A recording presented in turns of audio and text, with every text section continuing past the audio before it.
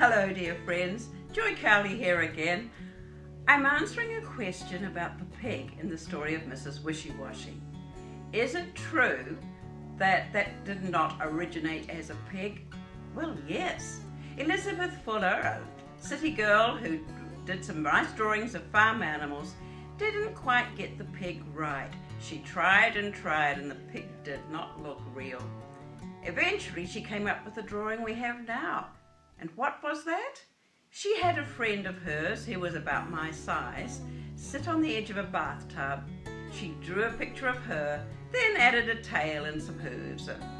Well, that is the pig in that bathtub scene. And somehow that comes through to children.